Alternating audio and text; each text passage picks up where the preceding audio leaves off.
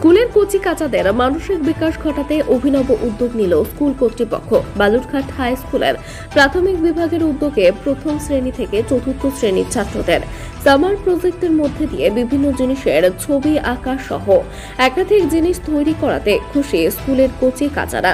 স্কুলের পক্ষ থেকে জানা যায়, বিভিন্ন সময় স্কুলের ছাত্রদের প্রজেক্ট করতে দেওয়া হয়। মূলত সেসব প্রজেক্টগুলি পড়াশোনা কেন্দ্রিক হয়ে থাকতো। কিন্তু এবার একটু অন্যরকম চিন্তা ভাবনা করে এই ধরনের উদ্যোগ নেওয়া হচ্ছে। পড়াশোনার পাশাপাশি ছাত্ররা আরও অন্য কি কি বিষয়ে তাদের পারদর্শিতা রয়েছে, সেই সমস্ত বিষয়গুলি এর মাধ্যমে পরিষ্কার হয়ে যাওয়ার সম্ভাবনা রয়েছে।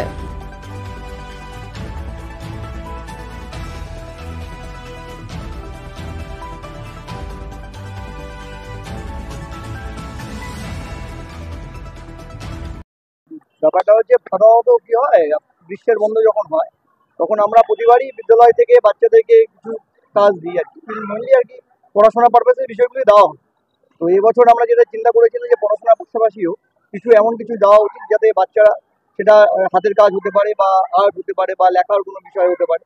তাহলে এটা করলে বাচ্চাদের যে মনস্তাত্ত্বিক যে বিষয়, সেগুলো, বিষয়গুলো একটু বেড়ে যায় এবং তাদের সৃজনশীলতার প্রতি তাদের ঝোঁক বাড়ে এবং তাদের নিজের কাজ করার মানসিকতা তৈরি হয়। এই সমস্ত কারণের উপরে দাঁড়িয়ে আমরা ভেবেছিলাম যে এবার যে বাচ্চাদের কাছে যে সামারে এই কাজগুলো করতে দেবো এবং সেগুলো নিয়ে একটা আমরা প্রদর্শনী করব এবং কালকে গতকাল আমরা সেই প্রদর্শনীটা করেছি। এবং বাচ্চারা খুব সুন্দরভাবে এসেছে এবং গার্জেনরাও এসেছে খুব ভালো সারা আর কি ভালো লাগল আর কি আমাদেরও ভালো লেগেছে স্কুলের পক্ষ থেকে। এর থেকে কি মনে করছ? বা বাচ্চাদের কোনো উন্নয়ন অবশ্যই সৃজনশীল মানুষ চিন্তা ভাবনা তাদের মাথায় আসবে নতুন কিছু তৈরি করা মানসিকতা আসবে। আগামী দিনে যাতে ওরা মানে সেই বিষয়টাকে নিজেরা নিজেদের মতো করে বানানোর চিন্তা ভাবনা করবে। সেগুলো তো আসেই। পড়াশোনার সঙ্গে মানে আশেপাশে জিনিসগুলো খুব দরকার। যেটা একটা বাচ্চাকে আগামী দিনে ভবিষ্যৎ তৈরি করার ক্ষেত্রে সাহায্য করে। থ্যাংক ইউ আপনার নাম? অনিমেষ চক্রবর্তী।